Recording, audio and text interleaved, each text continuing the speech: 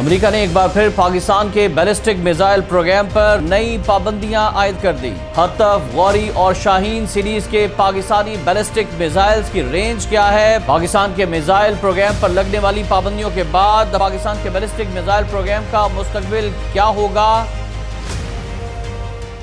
बसमीम असल नाजीन आप देख रहे हैं खबर गाम और मैं हूँ एहतशाम रहमान नाजिन आज का व्लॉग बड़ी अहमियत का हामिल है। इस व्लॉग को शुरू करने से पहले एक बार फिर हम आपसे दरख्वास्त करेंगे कि आप हमारा चैनल ज़रूर सब्सक्राइब कीजिएगा, शेयर कीजिएगा, कमेंट सेक्शन में अपने कमेंट से भी अपनी आरा से हमें नवाजते रहें ताकि हम इसको मज़ीद बेहतर कर सकें। नाजिन अमरीका हो या यूरोप हो या कोई भी गैर मुस्लिम कंट्री हो कुरान पाक में अल्लाह ताला ने इरशाद फरमाया कि यहूद नसारा कभी भी तुम्हारे दोस्त नहीं हो सकते। और हमने देखा है कि नापाक इतिहाद सलासा, जिनमें अमरीका भी शामिल है, जिनमें भारत भी शामिल है सेहूनी भी शामिल है, ये कभी भी नहीं चाहते कि उम्मत मुस्लिमा की वाद एटमी ताकत, जिसका नाम पाकिस्तान है, जो एलानिया एटमी कुत है, वो तरक्की करे या फिर वो अपना डिफेंस सिस्टम मज़बूत करे, जिससे उम्मत मुस्लिमा को फ़ायदा हो सके। और उनकी हमेशा से ये कोशिश रही है कि किसी ना किसी तरह से पाकिस्तान को कमज़ोर किया जाए, मुआशी तौर पर, अंदरूनी सियासी तौर पर और पाकिस्तान की डिफेंस के ख़िलाफ़ साजिशें की जाएँ और पाकिस्तान को इस काबिल ही ना छोड़ा जाए कि वो यूरोप को आँखें दिखा सके मुस्लिम उम्मा को सपोर्ट कर सके।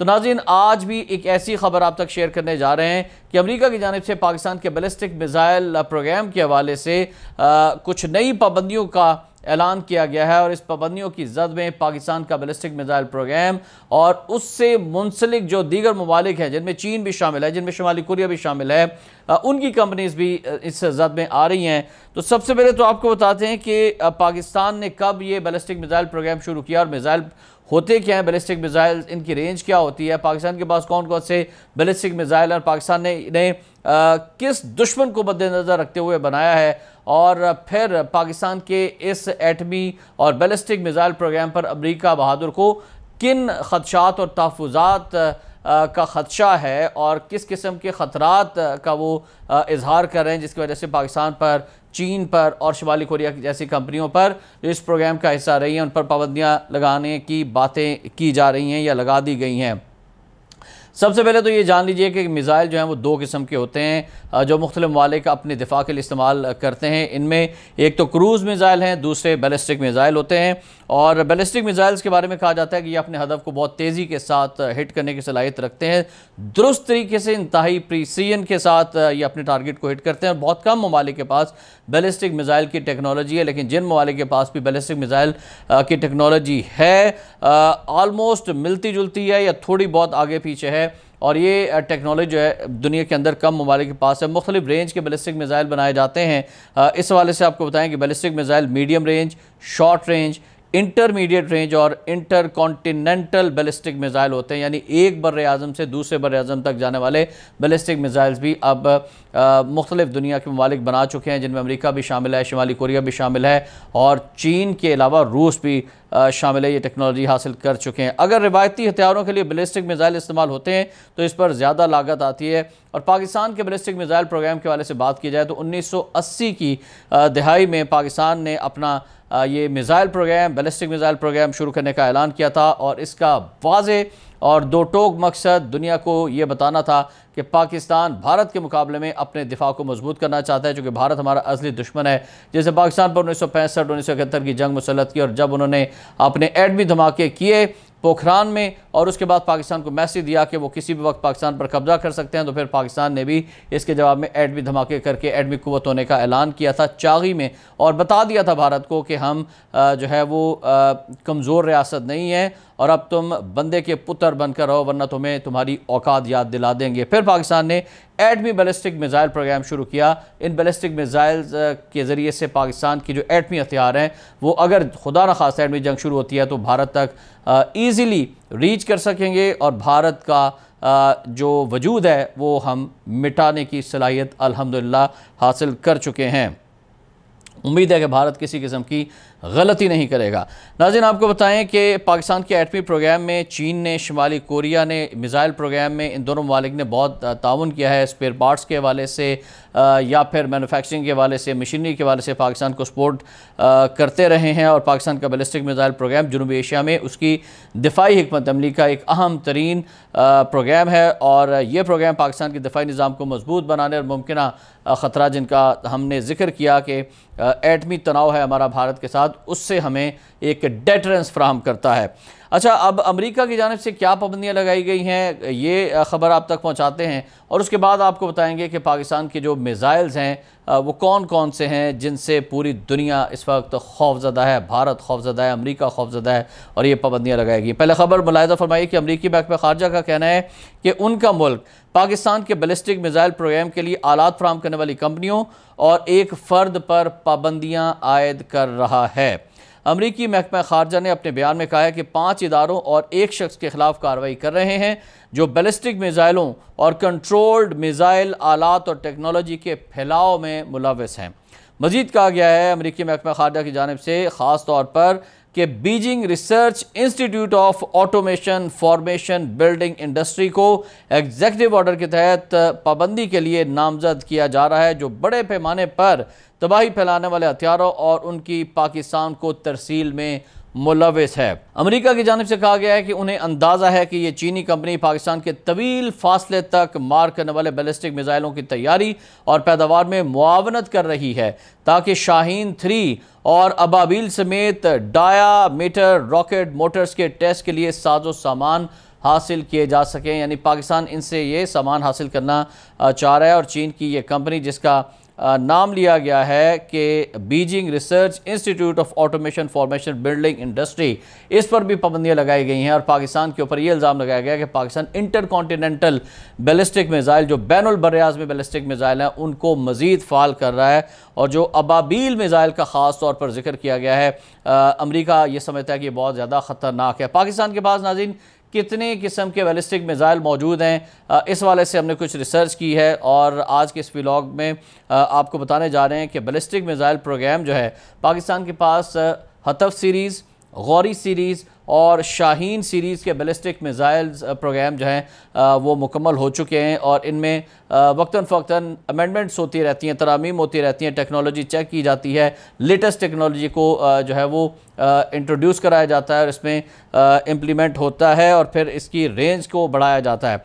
सबसे पहले तो आपको हतफ सीरीज़ के वाले से बताएँगे कि हतफ वन पाकिस्तान का ये पहला बैलिस्टिक मिज़ाइल था। जिसकी रेंज तकरीबन 80 किलोमीटर थी, फिर हतफ टू अब्दाली के नाम से पाकिस्तान ने बनाया। मुख्तर फासले का ये मिज़ाइल इसकी रेंज को 80 के बजाय 180 किलोमीटर तक कर दिया गया था। हतफ वन की रेंज 80 और हतफ टू की 180 किलोमीटर। फिर गौरी सीरीज़ का जो दरमियाने फासले का बैलिस्टिक मिज़ाइल है, इसकी रेंज पाकिस्तान ने बढ़ाकर 1300 किलोमीटर तक कर दी और इसे उन्नीस में पाकिस्तान ने इंट्रोड्यूस करवाया था। फिर इसके बाद गौरी वन के बाद गौरी टू पाकिस्तान ने बनाया और इसकी रेंज जो है वो तेरह सौ से बढ़ाकर 2000 किलोमीटर तक कर दी गई। फिर आ, पाकिस्तान जो है वो शाहीन सीरीज़ के बैलिस्टिक मिज़ाइलों में दाखिल हुआ और शाहीन वन पाकिस्तान का मुख्तर फासले का बैलिस्टिक मिज़ाइल बना और ये बहुत तेज़ी के साथ हरकत करने वाला मिज़ाइल है। इसकी शाहीन वन की पहली रेंज जो है साढ़े सात सौ थी, फिर शाहीन टू की रेंज दो हज़ार किलोमीटर और शाहीन तीन की जो है वो सत्ताईस सौ पचास किलोमीटर तक पहुँचा दी गई। फिर नाजिन आपको बताएँ कि पाकिस्तान के बैलिस्टिक मिज़ाइल प्रोग्राम के जो मकासद हैं, जो हुकूमत पाकिस्तान बताती है वो क्या है? पाकिस्तान के जो मकासद हैं वो ये है कि हमने अपना डेटरेंस भारत के साथ स्ट्रेटजिक तोज़ुन बरकरार रखना है। नंबर टू कौमी दिफा पाकिस्तान के लिए दाखिली और ख़ारजी ख़तरा का मुकाबला करना है। नंबर थ्री तकनीकी पेशरफ मुल्क की दिफाई सनत को फ़रोग देना है। ख़ुद इसारी इस टेक्नोलॉजी में हासिल करनी है। और ये वो बेसिक ऑब्जेक्टिव्स हैं जिसके तहत पाकिस्तान की मुसल्ह अफवाज पाकिस्तान की हुकूमत एक पेज पर हैं और इन पर कोई कंप्रोमाइज़ नहीं किया जा सकता।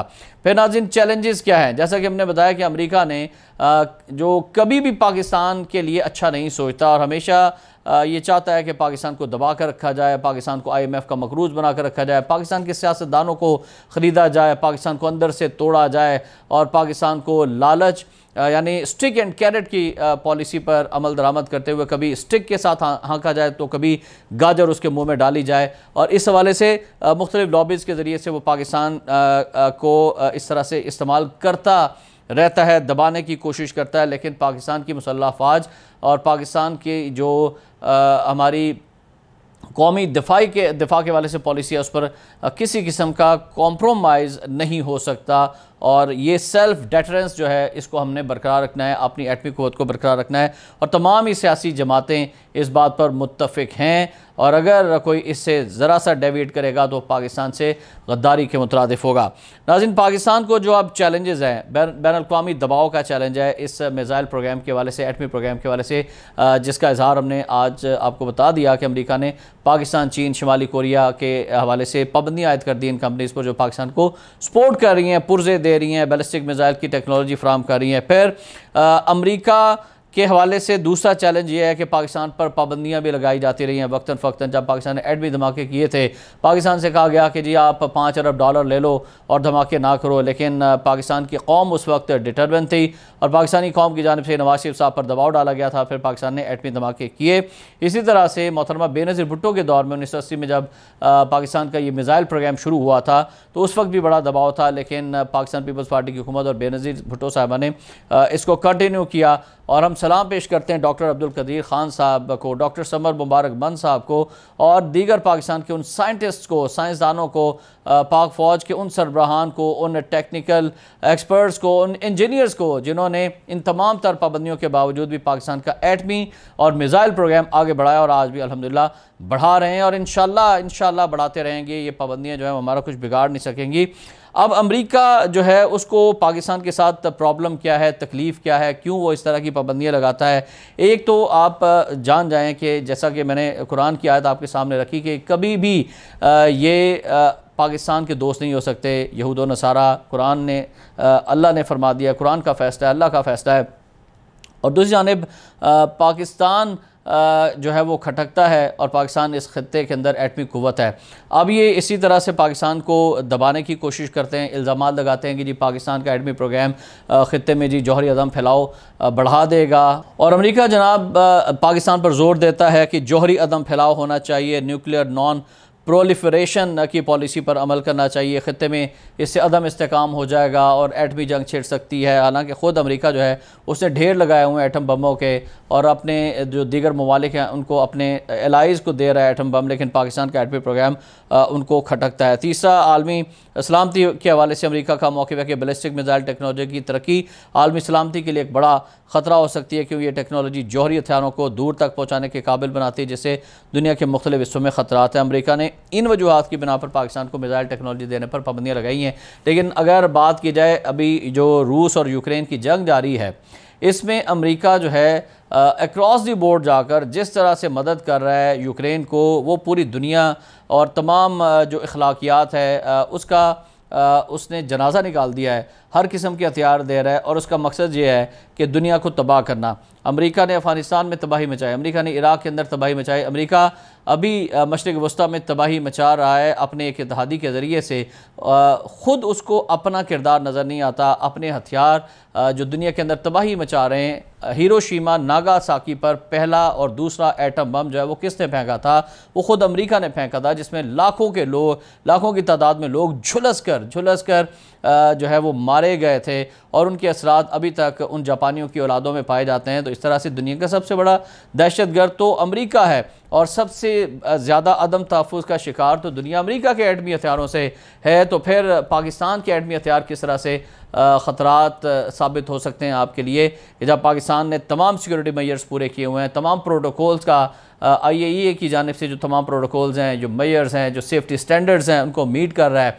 हालाँकि इसके मुकाबले में भारत को अगर देखें तो भारत के अंदर यूरेनियम चोरी होने के वाक़ सामने आते रहते हैं और वहाँ पर हर दूसरे दिन जो है वो आ, सामने आता है कि जी यूरेनियम चोरी हो गया और यूरेनियम वो धात है जो कि एटम बम बनाने में इस्तेमाल होती है। तो इस तरह से आप अंदाज़ा लगा लें कि अमेरिका के दोहरे मैार क्या हैं। अमेरिका भारत को कभी इस तरह से नहीं कहता कि वो अपनी बरामूस या दीगर जो अग्नि है इस तरह के मिज़ाइलों को वो रोके। आ, लेकिन उनको इजाज़त है। पाबंदियाँ हैं तो सिर्फ़ पाकिस्तान के लिए और पाकिस्तान का जुर्म सिर्फ़ यह है कि पाकिस्तान दुनिया इस्लाम की पहली एटमी ताकत है। इन ताला नाजीन अगर हम मुतहद रहे तो इस तरह की तमाम साजिशों को हम नाकाम बना देंगे। एहतशाम रहमान को इसी दुआ के साथ कर ताला पाकिस्तान को सलामत रखे, पाकिस्तान के दुश्मनों को खाक में बिला दे इजाज़ दीजिएगा। अल्लाह हाफ़